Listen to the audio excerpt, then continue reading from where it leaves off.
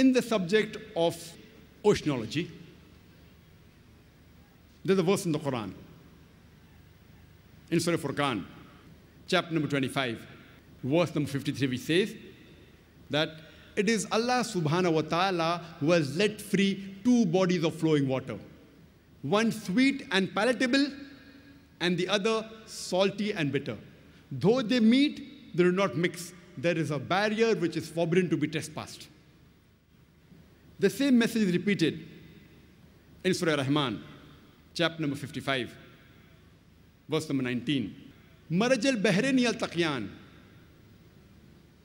that we have let free two bodies of flowing water. Though they meet, they do not mix. There is a barrier, there is a barzakh which is forbidden to be trespassed. When the commentators of the Quran, when they try to understand this verse, all of us know very well, and we knew it earlier also, that there are two types of water, sweet and salty. But they could not understand the verse of the Quran, which says that there are two types of water, sweet and salty, Though they meet, they do not mix. There is a barrier which is forbidden to be trespassed. There is a barzakh. The Mufassireens, the commentator could not understand what did it mean. Today, after science have advanced, we have come to know that whenever one type of water flows into the other type of water, sweet water flows into the salty water, it loses its constituents and gets homogenized into the water it flows. This transitional homogenizing area, according to the Quran, is called as the barzakh. It is an unseen barrier.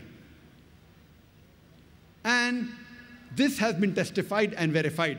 When this verse of the Quran was showed to Prophet Hay, who is a very famous marine scientist and a professor in oceanology in the University of Colorado in USA. And he said that what the Quran mentions 1400 years ago has been testified by science recently. And this phenomena can be seen even with the naked eye at the Cape Point, the southernmost tip of Cape Town in South Africa, where one type of water flows into the other type. We even see that the colors of both these waters differ.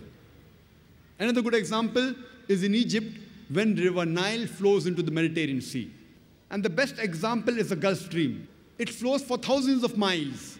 It starts from the Gulf of Mexico and goes to the east side of North America, travels upwards, then goes eastwards and travels to the west coast of Europe. It flows for thousands of miles, but yet the two waters are distinct.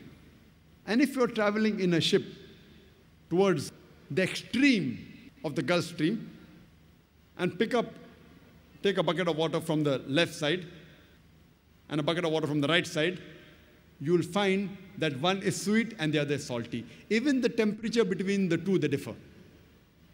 Imagine, Quran speaks about this phenomena 1400 years ago.